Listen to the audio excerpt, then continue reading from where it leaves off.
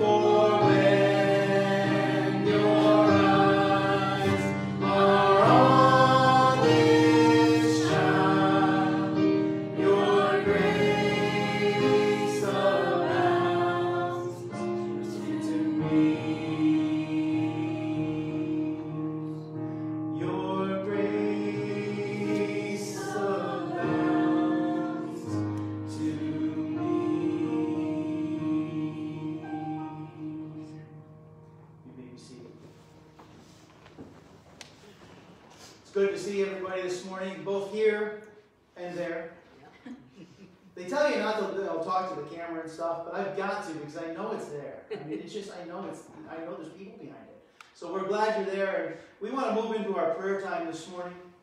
Um, there's been a number of prayer requests that we've been praying for. And uh, one of them is here. Tim hobbled in this morning. Actually, he did pretty good.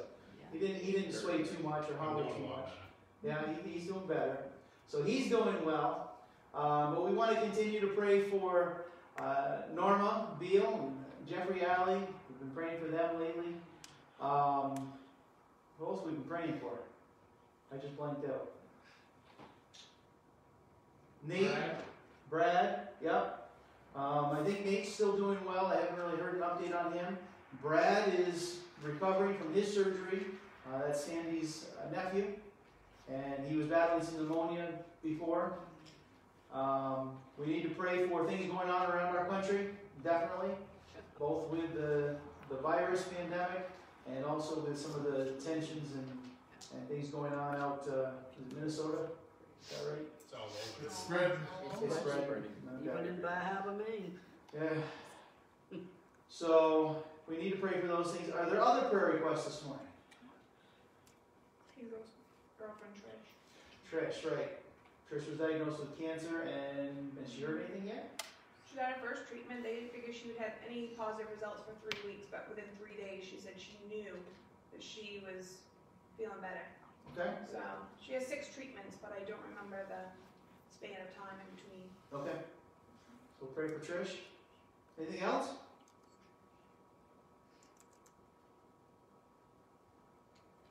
Well, the Eddie Looks Yes. family. Yes. Yeah. Um, Eddie Look passed away. Was it Wednesday? And uh, so be praying for his family. Uh, that'd be a brother to Bill. And uh, so yes, remember them. Anything else this morning? I've unspoken. Okay. Anybody else have an unspoken? Okay. You can raise your hand at home. We'll play, pray for that too. Pastor Nick's going to pray for us in a minute, but we're going to sing a prayer chorus. Lord, you are more precious than silver. Isn't he the most precious thing we have? Mm. Lord,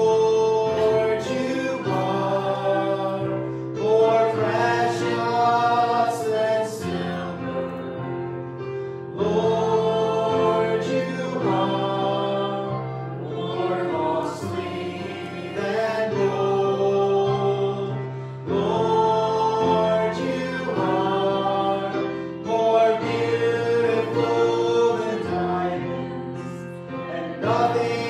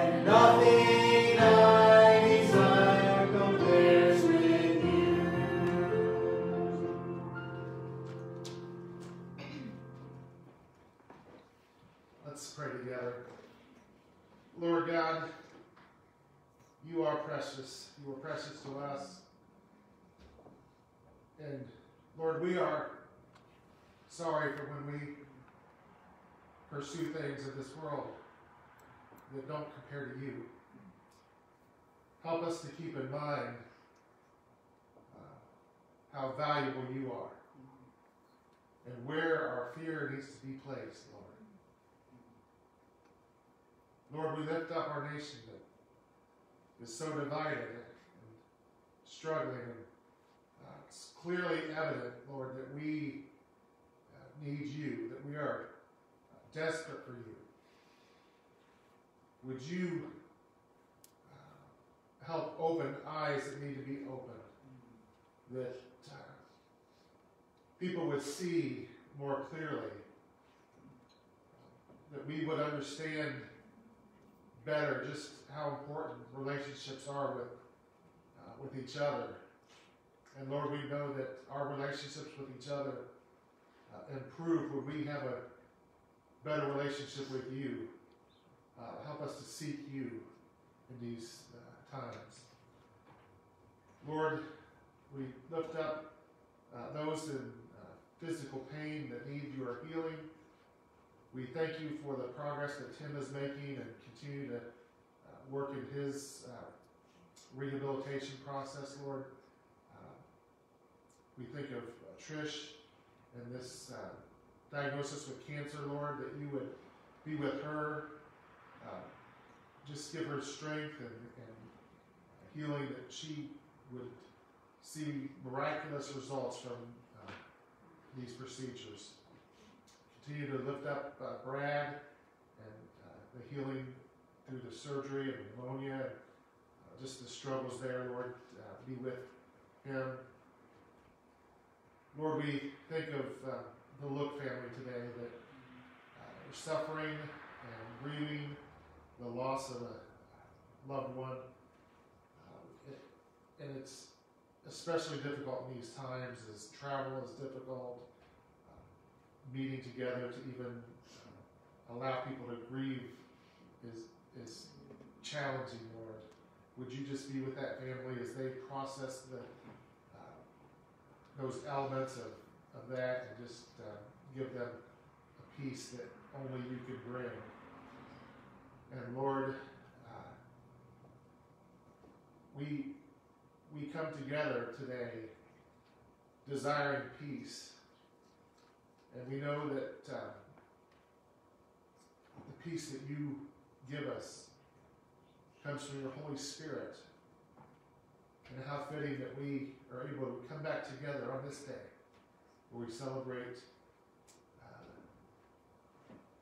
the giving and the gifting of the Holy Spirit to believers. And we are in certainly desperate need of more of your Spirit poured out on your people. And that your people would be open to the Spirit, uh, open to uh, repentance and turning away from uh, sins and seeking you out. So we pray that for our congregation, those here today, those watching at home. Lord, we pray it for our cities, for our towns, for our, our county, for our state, out to our, our nation, and even to the world. Lord, we pray that your spirit would just fill this world from all four corners. That you would help us to come back to you. In Jesus' name.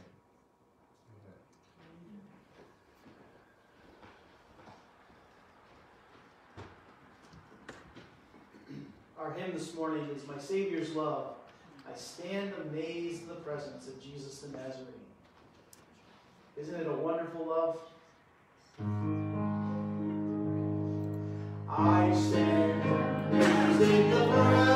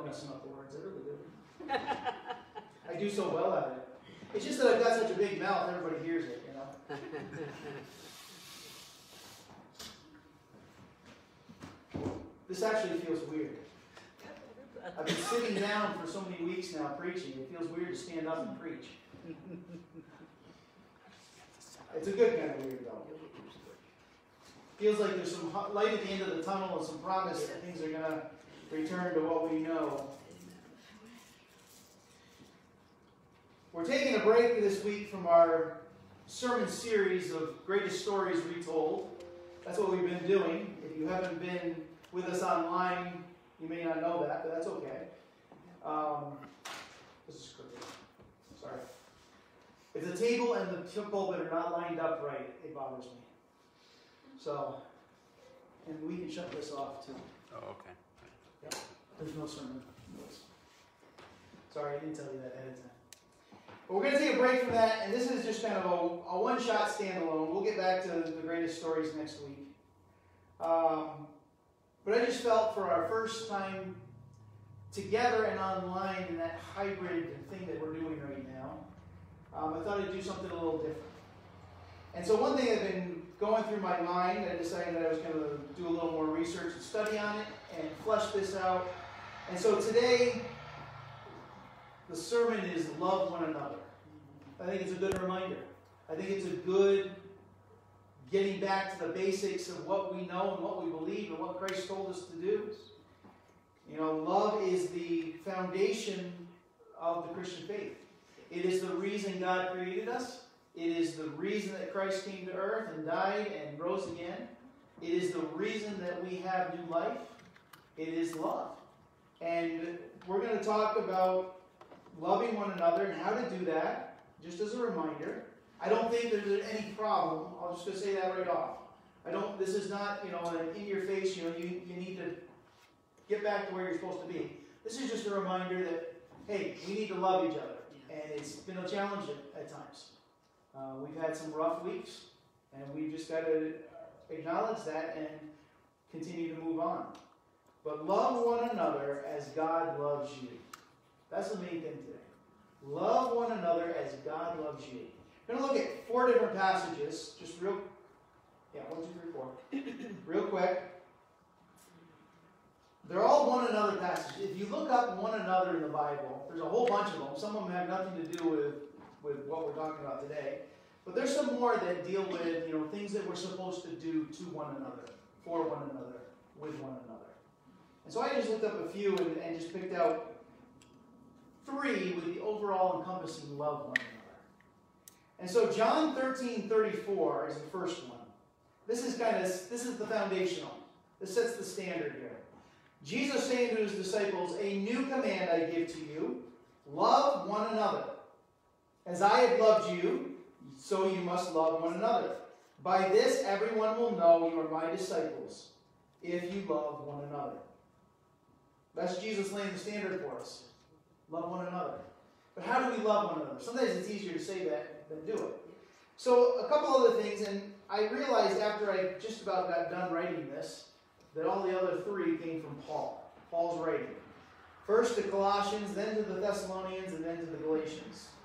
So in Colossians 3, 7, or 12 to 14, we read, Therefore, as God's chosen people, holy and dearly loved, clothe yourself with compassion, kindness, humility, gentleness, and patience.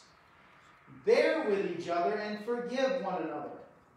If any of you has a grievance against someone, forgive as the Lord forgave you. And over all these virtues put on love, which binds them all together perfect unity. So again, we see Paul bringing the love into it. But forgive one another, he says.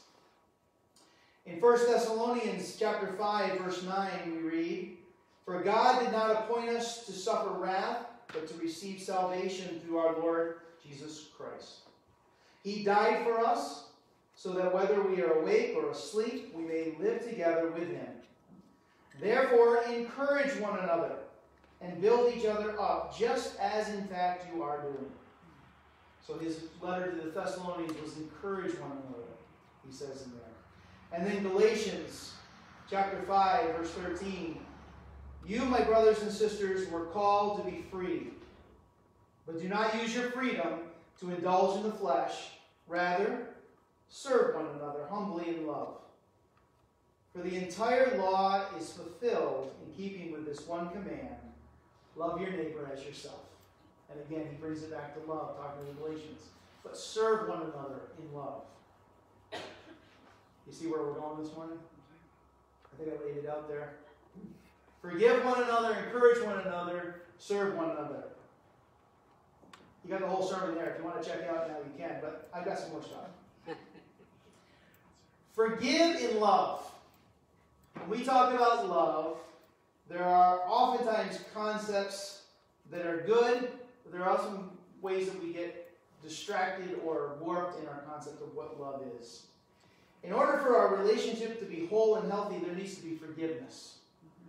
And sometimes we look at love and we don't quite understand what love is. We all have people in our lives that have hurt us. We all have times when we've hurt other people. We are human and we don't always do things the way we should. And so there are hurts there, and whether it is done in ignorance or whether it is malicious intent, it really doesn't matter because God says forgive one another. Especially within the body. Forgive one another. Paul's letter to the Colossians says, Forgive as God forgave you. Now that's a high standard right there. Forgive as God forgave you. When you think back how you were before you came to follow Jesus Christ, when you think about back to the sins that you committed and were forgiven of, when you think back to the mistakes you have made since and have repented and been forgiven of, that is a massive, massive forgiveness that God gives us. It is complete, it is whole. God holds nothing against us. We have a clean slate, we start over. Justification, they say, is just as if we have never sinned. God holds nothing against us.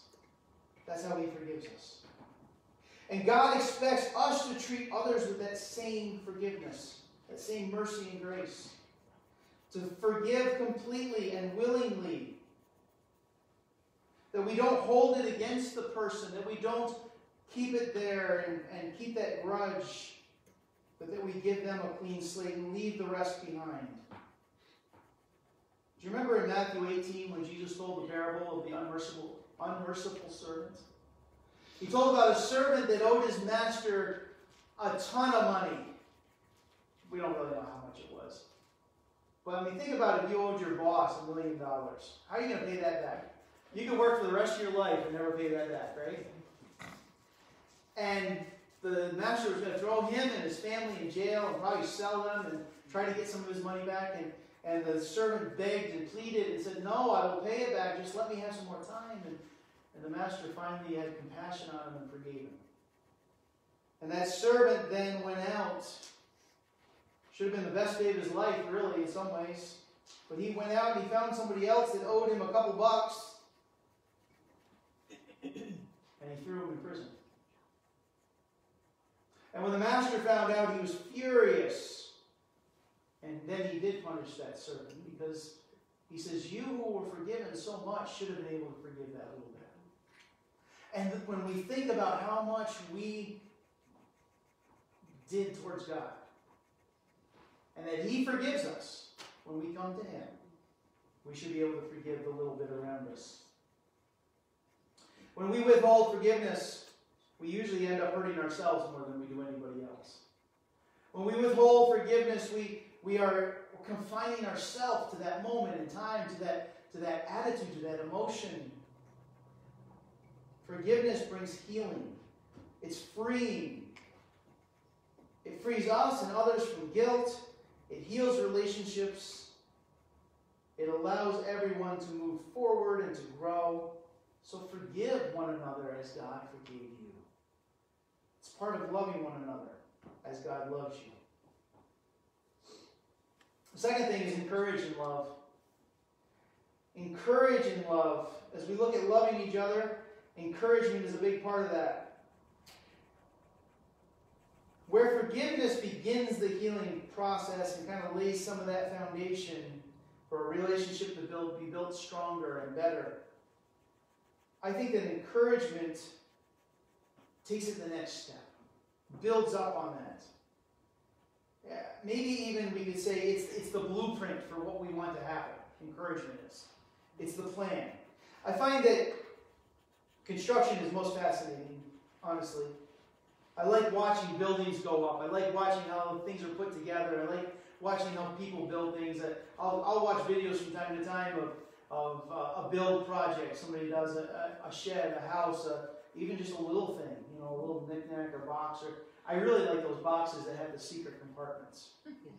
Eventually, I want to I want to be able to make something like that and make it look good, so you can't find the secret.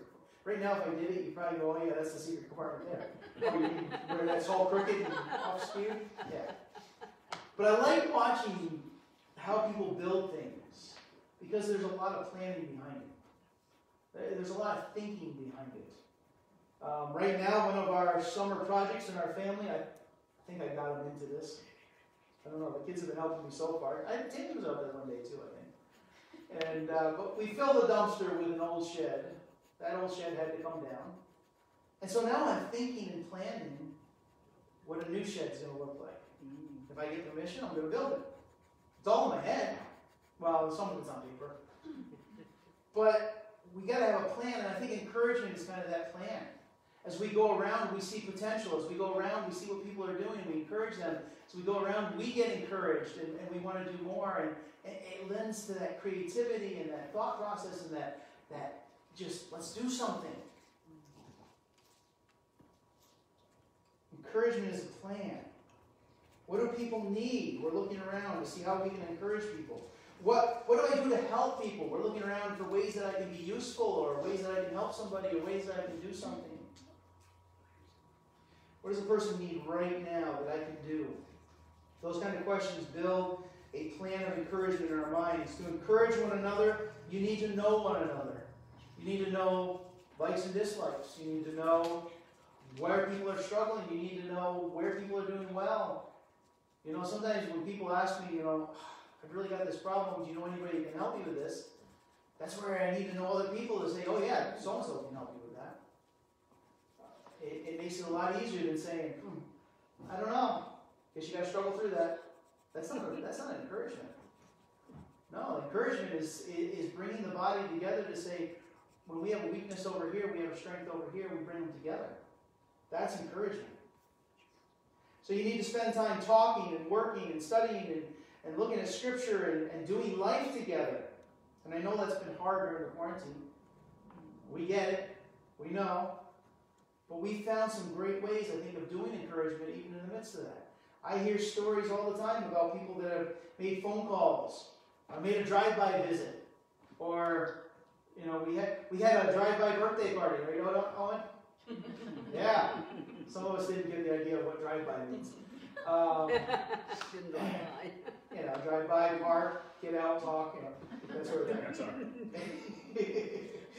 we weren't the only ones, I know that.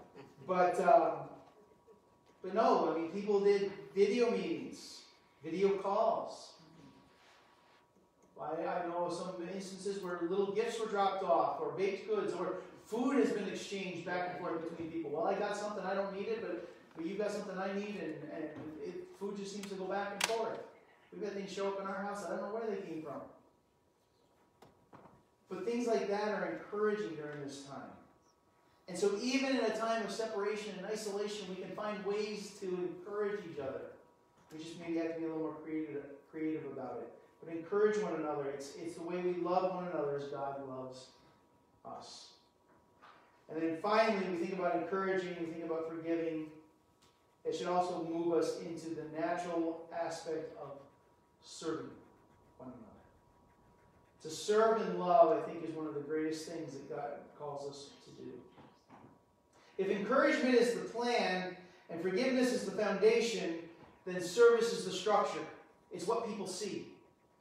It's the action behind it. It's the, it's the practical side of it. How many of you actually think about the foundation of your house on a regular basis?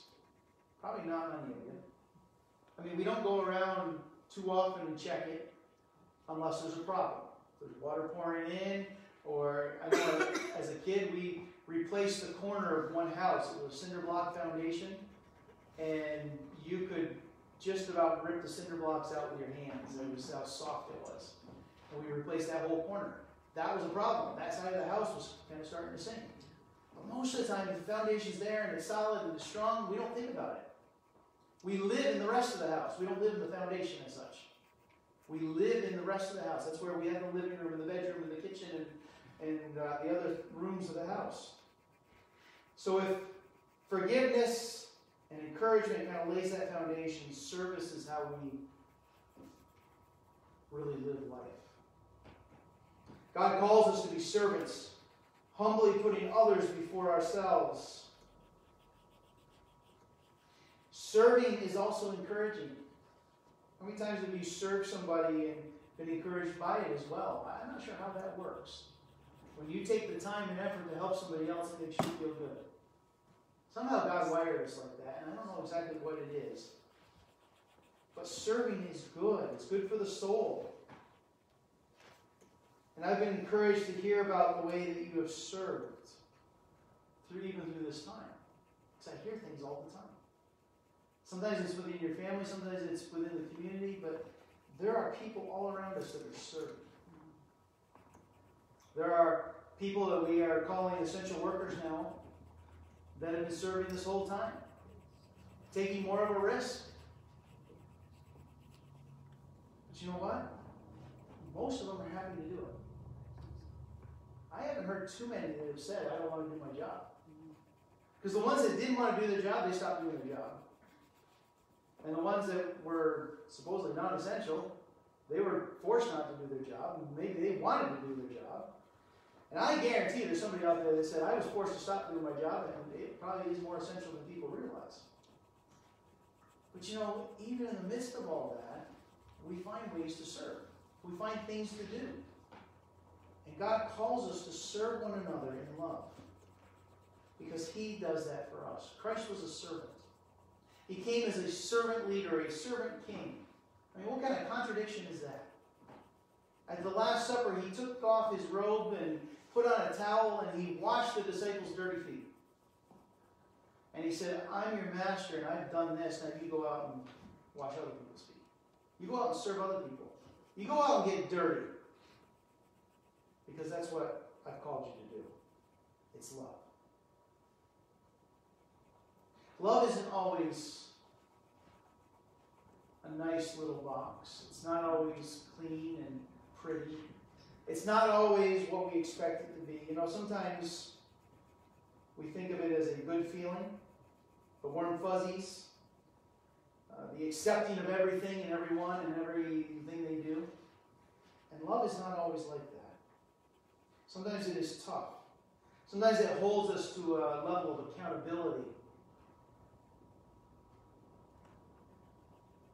Sometimes it is setting boundaries and rules to protect us. Sometimes love is doing or hearing something we don't always like, but something that's true that will make us better.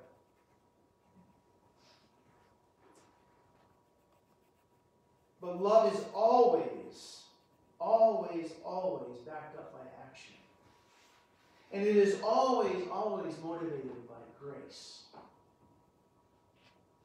God's love compelled him to bring salvation to the human race. God's love compelled him to travel from heaven, the perfect place, to earth that was broken. His love caused him to tell people to stop sinning and to follow him. His love gave forgiveness and encouragement and service all as a part of teaching and being an example. And now he calls us to do the same. As we serve, as we encourage, as we forgive, we grow. We grow in our knowledge of God. We grow in our relationships with others. We grow in our obedience and our strength. God has called us to continue to love one another. And so I just encourage you, find ways to love one another this week. Continue doing what you, as in fact, as Paul says, you already are doing. Continue to grow in love. Let's bow our heads.